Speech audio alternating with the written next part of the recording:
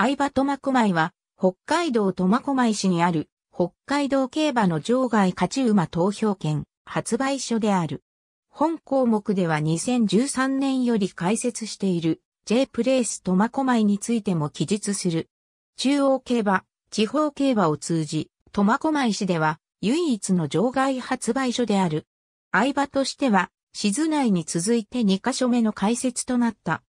開設当初は、北海道競馬の他番営競馬も運営主体となっており、北海道競馬による運営日は、相場苫小牧、万栄競馬による運営日は、ハロンズ苫小牧と呼称していた。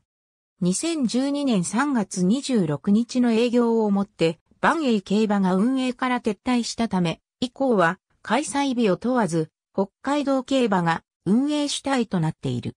2013年3月23日より、日本中央競馬会からの委託を受け、JRA の全レース場外発売を開始した。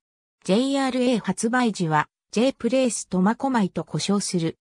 2014年3月24日に旧施設から移転し、メガドンキホーテ苫小牧店内で営業を開始した。2014年3月24日の移転開業前は、近隣にある商業、娯楽施設、トマモールの地下に設置されていた。場内は完全分煙で、アクリル窓で仕切られた喫煙室が設けられていた。施設内には売店が設置されているが、トイレが設置されておらず、1階の家具店に入り口近くにある男女別の共同トイレへ案内された。地上への出入り口のほか、地下駐車場と直結した出入り口もあった。万栄競馬や田地区の広域場外発売時は、各主催者が発売している掛け式に準じて、すべての掛け式を発売する。中央競馬は当日開催している競馬場の全競争を発売。また、GI 競争に限り前日発売も実施。全レース100円単位。発売、一部主催者のみ、発売なし。